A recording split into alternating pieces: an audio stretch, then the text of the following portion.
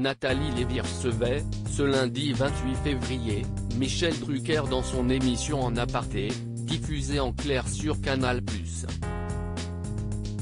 L'occasion pour la voix off du programme de demander au présentateur de Vivement Dimanche celui qu'il verrait bien à sa place sur le mythique canapé rouge de France 2.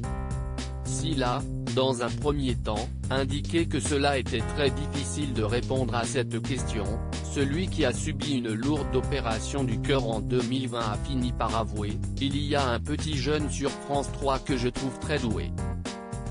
Celui qui fait slam. Il s'agit de Cyril Ferraud.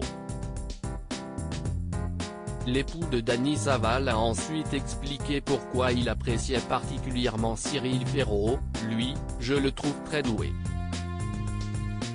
Et il a une chose que les autres n'ont pas, si est que, alors qu'il a l'air d'un gamin, d'un adolescent, il plaît à la fois aux jeunes de sa génération, il est à la fois le gendre idéal, le petit frère idéal, le fiancé rêvé, et le petit-fils idéal, estime le présentateur âgé de 79 ans.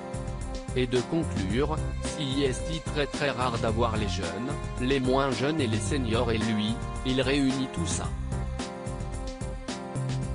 Quels sont les trois animateurs qui impressionnent Michel Drucker Lors d'une interview accordée au lecteur du Parisien en mars 2021, Michel Drucker avait déjà confié son admiration pour Cyril Ferraud.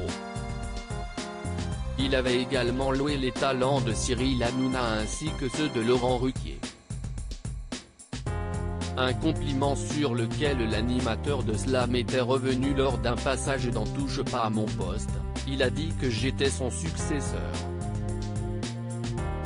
Ça me touche beaucoup, avait-il confessé avant de préciser, je me souhaite d'être encore à la télé quand j'aurai l'âge de Michel Drucker.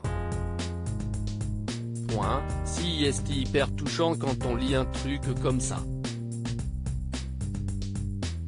Si est le patron quoi? Loading widget.